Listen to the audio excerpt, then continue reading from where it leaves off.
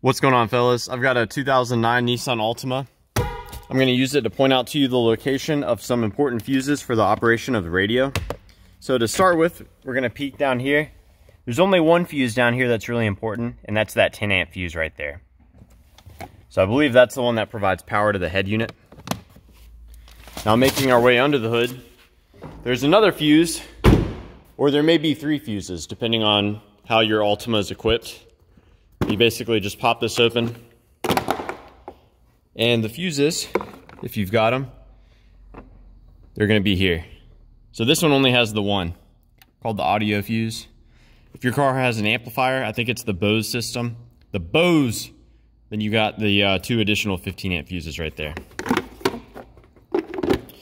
So yeah, that's about it. I hope this was helpful and let me know if you guys have any questions or more importantly, any advice about troubleshooting the radio on your Nissan Altima.